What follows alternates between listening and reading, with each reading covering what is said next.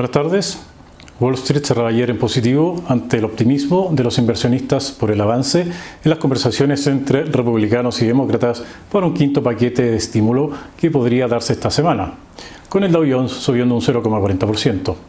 AstraZeneca podría retomar su ensayo clínico de fase 3 para la vacuna COVID en Estados Unidos esta semana, pues ya lo retomó en el resto de los países, tras ciertos problemas con una reacción adversa en uno de los participantes. Hoy el libro Beige de la Reserva Federal Fed de Estados Unidos señaló que ha habido un aumento generalizado de la actividad económica en todos los distritos, pero en forma desigual. Aunque el ritmo de crecimiento se caracterizó como leve a modesto, además advirtió que la recuperación económica en términos de empleo será más lenta en algunos distritos debido a la preocupación sanitaria de los trabajadores por la pandemia motivo por el cual las empresas han debido tomar medidas con trabajos más flexibles. Por otro lado, el Departamento de Justicia de Estados Unidos ha presentado una demanda antimonopolio contra la matriz de Google Alphabet, alegando que hace uso de su poder de mercado en los segmentos de anuncios y búsquedas en Internet, y actúa ilegalmente para mantener su liderazgo a través de contratos y acuerdos comerciales que impiden la competencia. Se trata de la demanda más relevante a una compañía tecnológica en los últimos años y se enmarca en el actual contexto de mayor escrutinio sobre las prácticas de grandes tecnológicas. En Europa las bolsas cerraron con fuertes caídas, debido a los repuntes de contagios en Europa, lo que ha llevado a nuevas restricciones para enfrentar la pandemia lo que contrarrestó el optimismo que existe sobre los avances en las negociaciones del nuevo paquete de estímulo fiscal en Estados Unidos y la presentación de algunos resultados corporativos europeos. El IBEX 35 de Madrid cerró con una caída de un 1,67%. El CAC 40 de París retrocedió un 1,53%.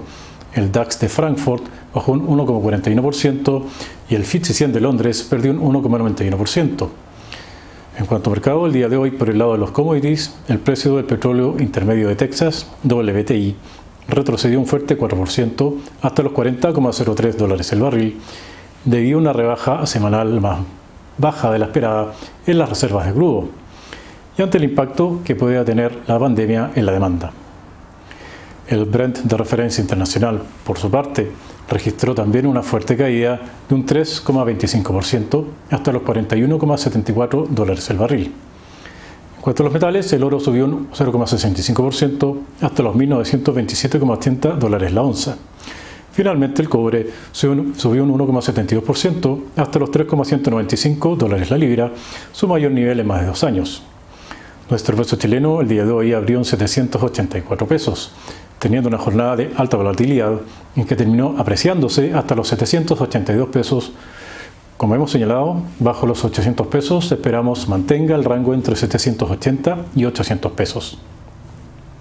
Wall Street cerró en terreno negativo este día en sus tres principales índices, ante las expectativas en las conversaciones para un nuevo paquete de estímulo.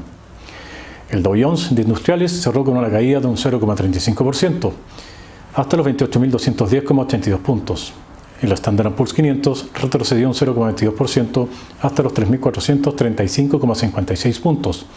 Y finalmente el Nasdaq bajó un 0,28% hasta los 11.484,69 puntos. Destacamos las subidas de Facebook y Google, mientras en las bajas destacamos a Netflix y AMD.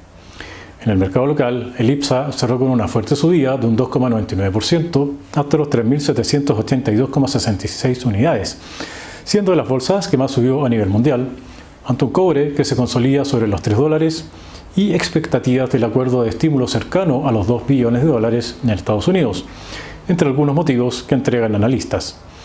Se mantiene en el canal entre 3.500 y 3.800 puntos. Una vez rompa la resistencia de 3.800 puntos, esperamos se encamine a los 4.000 puntos. Destacamos las subidas de B Santander y SQMB, mientras en las bajas destacamos a Andina B. Las acciones transadas del día fueron SQMB y NLAM, con 15,1 mil y 9,4 mil millones transados respectivamente. En nuestra cartera de gestión patrimonial tolerante en Chile mantenemos fondos de inversión alternativos, el ETF de bonos corporativos locales, el ETF de LIPSA, COPEC, CBPC, LTM y NLAM. Mientras que la cartera de gestión patrimonial tolerante de Estados Unidos mantenemos los ETFs HEAL de Healthcare Innovation, RBOT de Robótica y Automatización y DGTL de Digitalización. Muy buenas tardes y no olvide suscribirse a nuestro canal y visitar nuestra página web www.renta4.cl para más contenido financiero. Muchas gracias.